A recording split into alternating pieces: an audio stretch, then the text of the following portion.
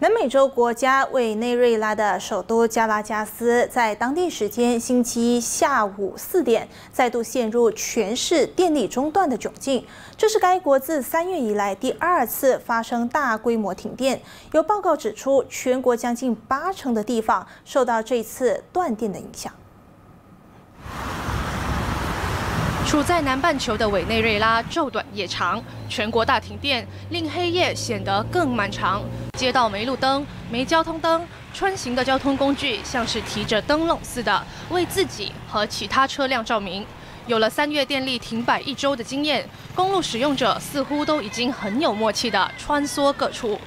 一家监督网络活动的公司指出，委内瑞拉全国的互联网网络数据显示，全国只有百分之六的衔接度。相信全国二十四个省有十九个全面停电，包括加拉加斯麦克蒂亚机场，乘客只好在后备电源有限照明的情况下，默默等候飞机。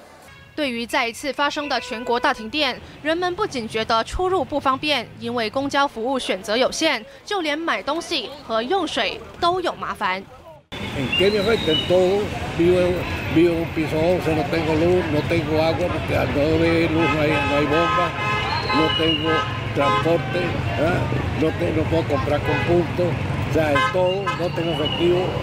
委内瑞拉双胞总统引发的宪政危机没有缓解之余，现任总统马杜罗将三月的大停电归咎为美国政府蓄意展开电磁攻击所致。反对派领袖瓜伊多则驳斥说，这是委内瑞拉政府长期不当管理输电网络构成的断电局面。